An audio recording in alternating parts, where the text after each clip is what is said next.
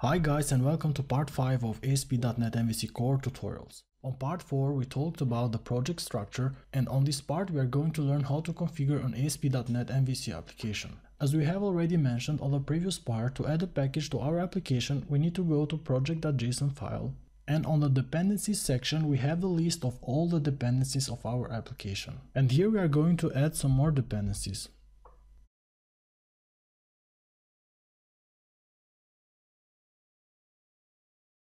On dependencies list we have added three dependencies, razor.tools, static files, and MVC.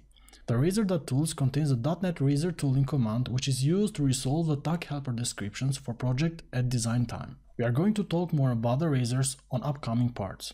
The static files is used for ASP.NET Core static files middleware. This includes middleware for serving static files, directory browsing and default files. In our case, we are going to use this dependency to serve the custom CSS and images to our views. The last one, which is MVC dependency, will be used to add MVC support to our application. On Tools section, you need to bring the Razor dependency but without the type property.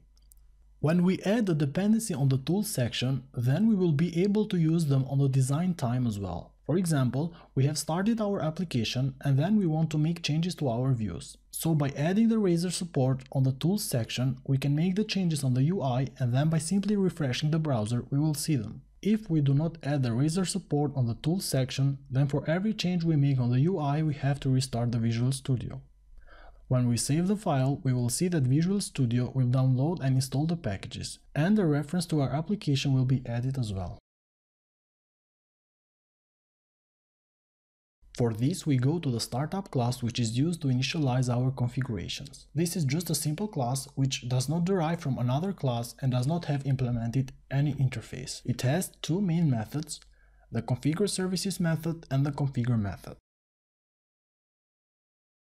The purpose of the configure services method is to configure dependency injection, and dependency injection in previous versions of .NET was optional. In ASP.NET Core it is integrated, so when an application starts up, types like a class are registered in the container. In dependency injection terms, these types are called services. Once they are registered, other types can ask the container for an instance of that type. During the registration, you can determine what the lifetime should be of that instance. For example, on the future parts, we will build our services and to call them from different controllers, we will have to register them inside this method. So let us make our first configuration by configuring MVC service.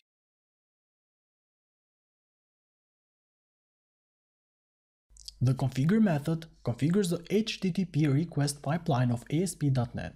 The pipeline specifies how the application should respond to HTTP requests. When the application will receive a request from the browser, the request will go through this pipeline that we will define and back. When there is nothing in the pipeline, nothing will happen.